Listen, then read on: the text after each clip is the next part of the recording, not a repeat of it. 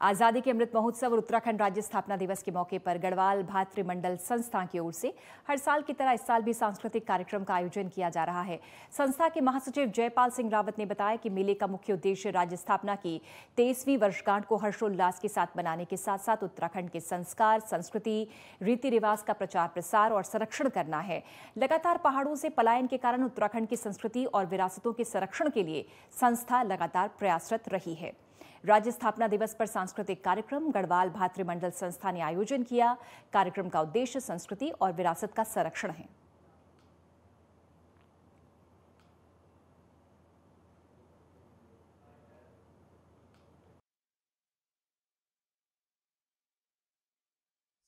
गढ़वाल भ्रात मंडल संस्था राज्य स्थापना दिवस से इस कार्यक्रम, इन कार्यक्रमों का आयोजन करती आई है।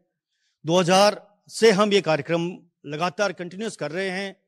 बीच में दो साल कोरोना के कारण हमारे यु आयोजन नहीं हुए साका किला की दुई साल आपदा पदच कि जो आपदा हुई जो आपदा आई, वो पूरे विश्व में आई और ये ये से हम भी अछूत नहीं रहो और हम ये दुई साल में ये कार्यक्रम निकाई।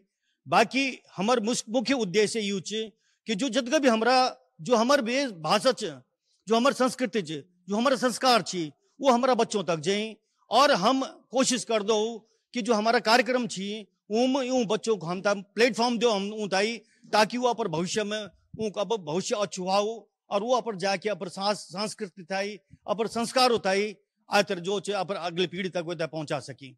और ये ये आप एग्ज़ाम्पल आप समझ कि आजकल आप देखो कि जो भी हमारा शादी, विवाह या कोई भी कार्यक्रम होंगी वो बच्चा बहुत बढ़ चढ़ी भाग लेंदी, और बढ़ चढ़ी भाग लेने के बाद जुद जुद कभी गडल गाना छी या गीत छी या बहुत अच्छो अटकन छी और बहुत अच्छो इंटरेस्ट लेने छी तो हमारे भी उद्देश्य ये है कि हम अपन भाषा प्रचारक, भाषा को और हमारा जो संस्कृति जो हमारा संस्कार चाहिए यूँ ज़्यादा से ज़्यादा हम प्रचार और प्रसार कर सको। यही हमारे संस्था का उद्देश्य है और वही हम आखिर बढ़ना चाहो।